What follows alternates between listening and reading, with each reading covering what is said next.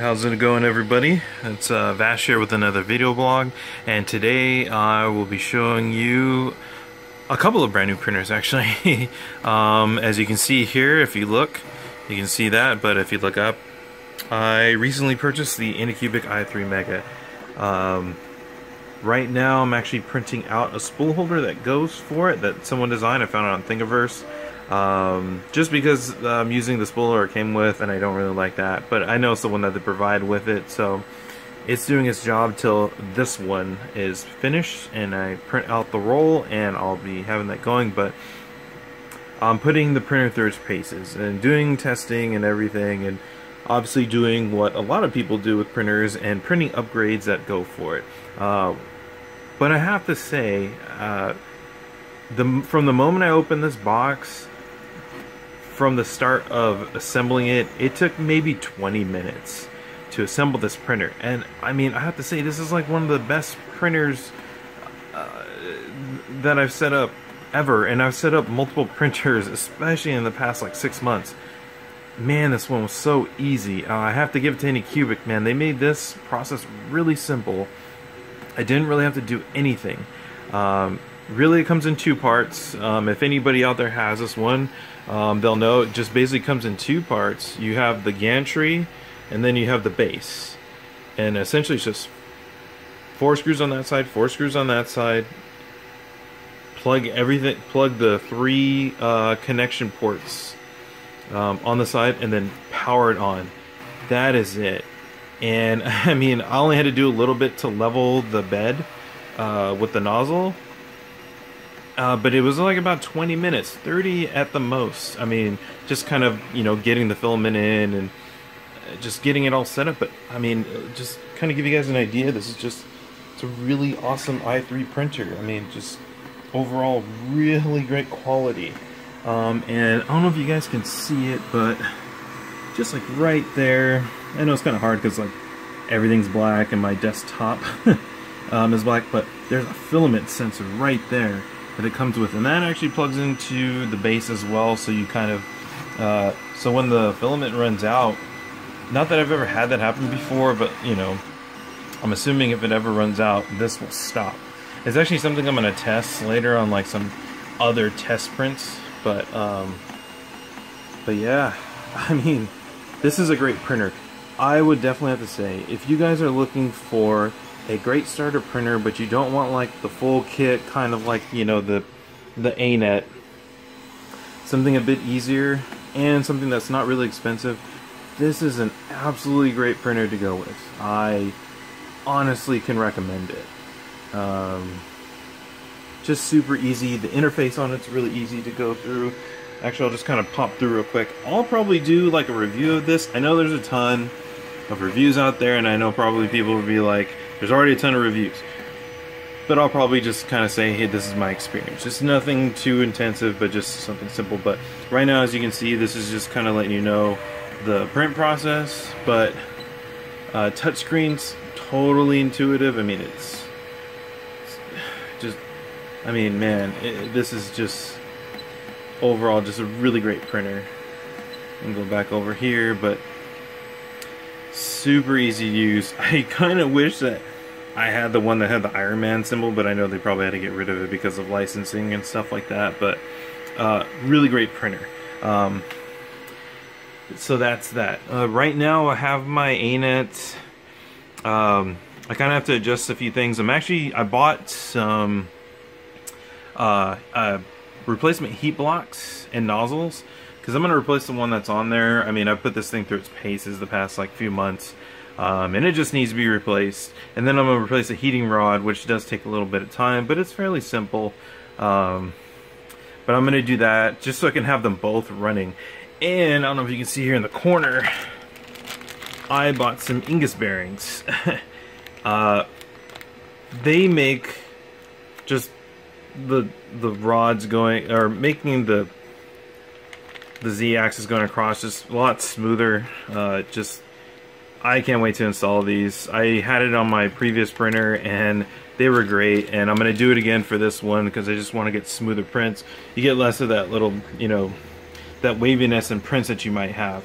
But uh, then I'll have both of those running and then hopefully to have this up and running I finally found a configuration file designed for the Geeetech the GT2560 uh, so I'm gonna put that on there. Hopefully this uh, actually following week because I'm going to convention but um, and then I'll have all three printers going. But then just to kind of show you guys I did say I had four printers and the next one is this guy here. This is the Anycubic Photon.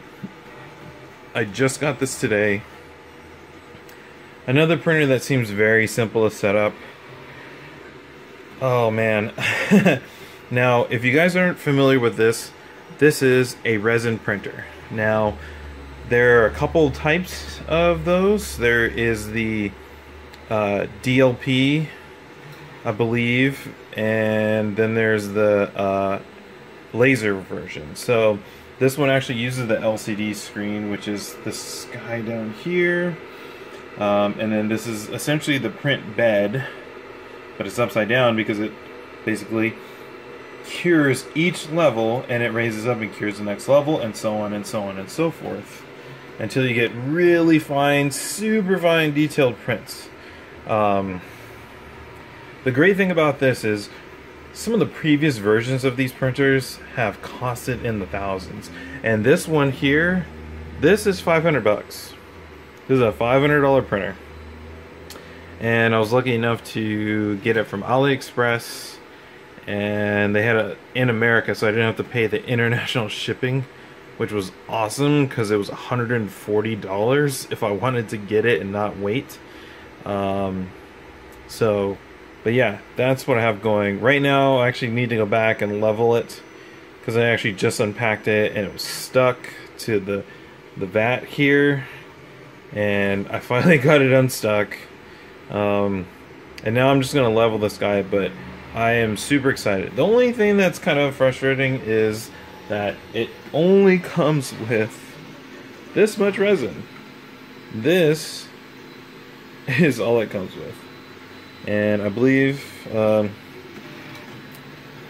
this is not a lot. so I actually did order some more, which I'm actually expecting this week. A couple of, actually, I think I ordered three bottles of 500 milliliters. Uh, this one here is green. Um, I ordered black and yellow. Unfortunately, they don't have blue, and but I'm going to actually look for blue resin. Um, even on their website and even in their introduction video to the Photon, they say that you can use other resins with this. So um, it's very versatile. Um, some of the other SLA printers uh, recommend that you use their resin with their printers. Uh, this one, they said, hey, um, as long as it's it's within certain requirements, you'll be able to use it. It's not a problem. So, but those are the printers I've printed. Oh, and just to kind of show you guys the quality of the Anycubic i3, if you haven't seen any, um, this is one of the test prints that comes on it. Now, let me see if I can just get this into focus for you guys. Oh, my phone just never focuses on anything. It always focuses on everything else. I mean, this is just really nice and smooth. Wow. My phone will not focus. This is it just like focuses on everything else. Uh that's okay. Let's focus on it and then it didn't. Uh okay, there we go. This back of the owl is just fantastic. Shows you how smooth the printer is. I'm trying to dial in the settings because this is just a test file and they don't really give you the settings. so I'm trying to um, iron that out. But uh, that's one of the prints that came off of it. And then right now, just kind of give you guys, I haven't printed too much just because I've been super busy with, you know, switching jobs and getting new printers and taking finals in school. Uh, this guy right here is an Xbox controller stand. One of the things I'm really happy about because it came out really awesome. This is printed in two pieces. This is basically the base, and then you have these four white pieces that you have printed separately. Now I'm going to print more of these in different colors, but man, this is just an awesome controller stand. um, works with my PC, so I just have a controller in my room, but it just sits like that. And it's just so simple. And the print only took like, I believe it was like two and a half hours. It's just, and I printed this at 0.3 layer height, just because this doesn't have to be super detailed. It's just functional, so that's what I printed at. Um, but yeah, just super awesome. Gonna print more colors. I have blue and black, and I believe I have gonna. Well, I'm debating on either yellow or something else, but essentially that's what I have going on right now. Um, haven't loaded a vlog in a while, but I wanted to do something real quick just to show you guys what I have, and I am going to be printing much more now that I have another printer, another printer, other printer. Oh, and actually down here, I purchased some more filament from another brand that I have never tried before, Amaze 3D. Um, uh, Fugitech 3D printing, he did a review on some of these, and he really liked them. So I was like, you know what, hey, I'll do it too. They had lavender. I don't know what I'll print with lavender, but I'll figure out something. Maybe something for my mom she likes some of the prints I've been making, so and she's been asking me to send her more stuff. So uh, with the photon and and uh, the new i3 Mega, I'll probably print her some more stuff that she'll probably like, jewelry or whatnot. So I have that, but I did see this on there. This was more expensive. Man, was this more expensive. But this is uh, gold filament. And I haven't had any gold filament ever, so I've been actually really dying to get some gold filament because there's a bunch of things I want to print with gold or in gold. Um, so that was really awesome. Although the lavender here was, I believe it was $21 at the time of this recording. This was 27 So this is around the same price as Hatchbox, which I usually use. Um, but I'm actually really interested to try some more and different filaments. So, Amaze 3D, uh, hopefully your guys' filament works out for me. Um, and actually I have a third box here. I accidentally purchased this. Now I normally don't print in ABS. I've only ever printed in PLA and a couple times in PETG and those have come out really great. But I accidentally bought the ABS instead of the PLA. But um, we'll see. I know a lot of people print functional things and sturdy things with ABS. But I also know that ABS stinks to holy hell. um, and people hate the smell. So, but I would really like to try and print something that's structurally um, good with this. So we'll see. Uh, an accidental purchase because I meant to get PLA, but hopefully something good will come from this. But that's pretty much it going, guys. And this is still going. Oh man, I can't wait till this is done. Um, but like I said, haven't done a video in quite a while, but you'll start seeing some more, seeing as I have more printers, and I'm gonna have a bit more time. So I hope you guys like this. If you guys aren't subscribed, please subscribe. Um, if you like the video, hit the thumbs up. If you didn't, hit the thumbs down, but leave a comment regardless. I'll be uh, doing more stuff coming up soon. Uh, hopefully, get some nice fine prints out of here. But I'm going to end it here.